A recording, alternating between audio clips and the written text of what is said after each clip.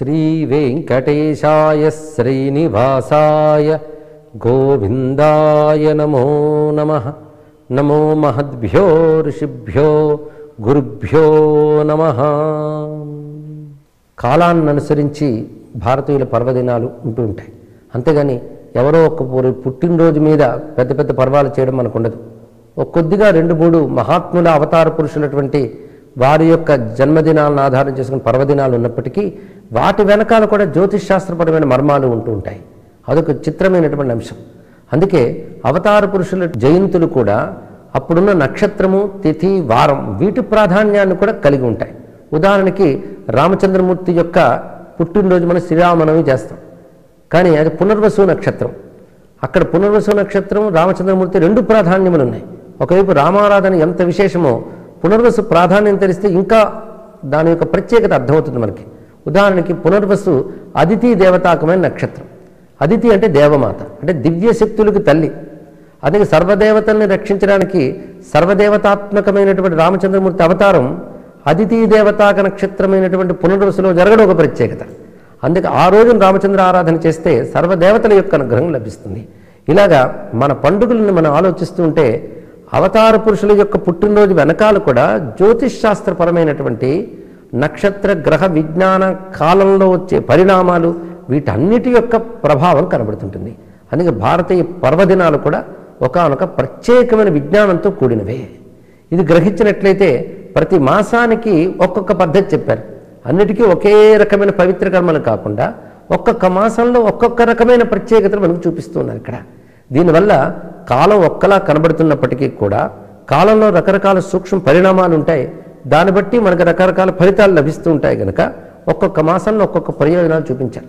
ఒకేలా కనిపిస్తున్న కాలంలోనే ఒక్కొక్క ఋతువు ఒక్కొక్క ప్రయోజనం కనబడుతున్నట్టే ఒకేలా కనబడుతున్న దేవతల్లో కూడాను లేదా పరమేశ్వరుల్లో కూడా మన కర్మలను అనుసరించి లేదా మన అనుగ్రహించడాన్ని అనుసరించి భగవానుడు కూడా రకరకాల రూపాలతో కనబడుతుంటాడు.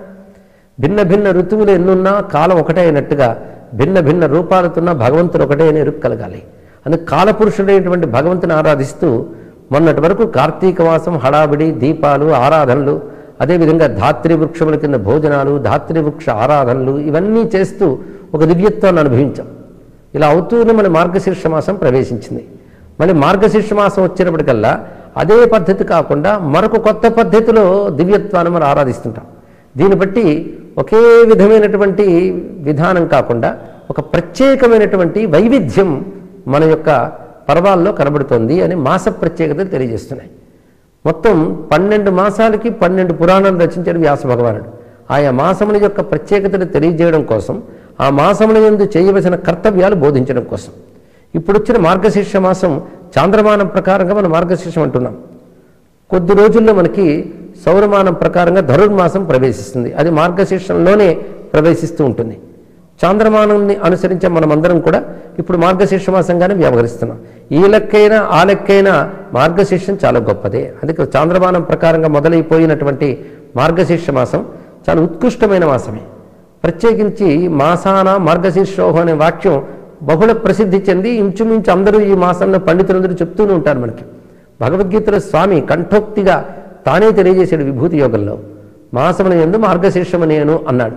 అంటే మొత్తం పన్నెండు మాసాల్లో దీనికి ఏదో ప్రత్యేకత ఉన్నది. ఇప్పుడు హేమంత ఋతువు మనకు నడుస్తున్నది. ఈ హేమంత ఋతువు యొక్క ప్రత్యేకత దానికి సంబంధించి ఇప్పుడు వచ్చే పర్వదినాల యొక్క వైశిష్ట్యం మనకు తెలుస్తూ ఉంటుంది. ముఖ్యంగా మార్గశీర్ష శుక్ల పంచమికి నాగపంచమి అని పేరు. చాలామంది ఇది సుబ్రహ్మణ్యారాధన చేస్తూ ఉంటారు ఇది కార్తీకంలో చేసేటువంటి నాగుల చవితి వంటిదే. కొంతమంది దీన్ని పాటిస్తుంటారు. మరికొంతమంది శ్రావణ పంచమిని నాగపంచమి గరుడ పంచమని చేస్తుంటారు. మొత్తానికి శ్రావణం కార్తీక మార్గశీర్షం కూడా ముఖ్యమని తెలుస్తుంది అలాగే మార్గశీర్షంలో మరొక ప్రత్యేకత అసుర సంహార శక్తులు ముఖ్యమైనటువంటి దేవతా శక్తులు ఏవైతే ఉన్నాయో వాటికి బలమిచ్చే మాసం మార్గశీర్ష మాసం అందుకే మార్గశీర్ష శుద్ధ షష్ఠి సుబ్రహ్మణ్యుడు సంపూర్ణమైనటువంటి ఆకృతిని పొందాడు అనే స్కాంద పురాణం అదేవిధంగా మహాభారతం చెప్తున్నాయి. అసలు మార్గశీర్ష శుద్ధ పాడ్యమి నాడు శరవణంలో శివతేజస్సు ప్రవేశించిందని పంచభూతముల యొక్క సహాయంతో అది క్రమంగా ఒకటవ రోజు నుంచి భిన్న భిన్న ఆకృతులు తీసుకుంటూ ఆరో రోజుకి పరిపూర్ణమైనటువంటి ఆకృతిని స్వీకరించిందని మహాభారతం చెప్తున్నది ఇక్కడ. అది మార్గశీర్ష శుద్ధ షష్ఠి సుబ్రహ్మణ్యారాధనకు ప్రాధాన్యం ఇచ్చారు అదేవిధంగా ఈ మార్గశీర్ష మాసంలో ఆదివారం చాలా విశేషంగా చెప్పారు.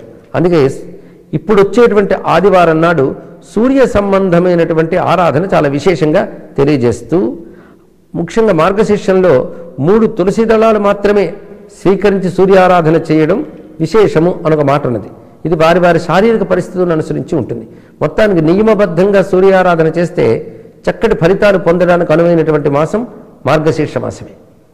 ఇంకొకటి నారాయణుడు శయనం నుంచి మేల్కొన్న తర్వాత వచ్చేటువంటి మాసం మార్గశీర్ష మాసం. అంటే కార్తీక శుద్ధ ఏకాదశి ఉత్థాన ఏకాదశి అవుతుంది.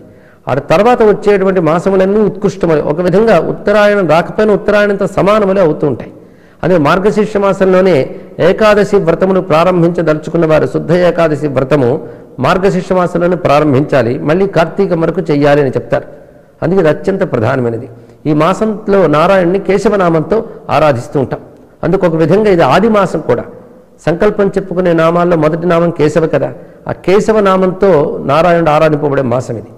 అంతేకాదు మార్గశీర్ష మాసంలోనే ఈ ఏకాదశి నాడే గీతా జయంతి పేరుతో సాక్షాత్ కృష్ణ పరమాత్మ యొక్క వాగ్రూపమైనటువంటి మరొక వేదమాత అయినటువంటి గీతామాతను ఆరాధిస్తాం. అదొక ప్రత్యేకత వస్తుంది. అదేవిధంగా మార్గశీర్ష శుద్ధ త్రయోదశికి ప్రత్యేకత ఉంది. ఆ రోజున ఆంజనేయ స్వామి వారు లంకలో అమ్మవారిని సీతమ్మ వారిని దర్శించారు. అప్పుడు సీతమ్మ వారు ఒక ప్రత్యేకమైన వరాన్ని ఇస్తారు.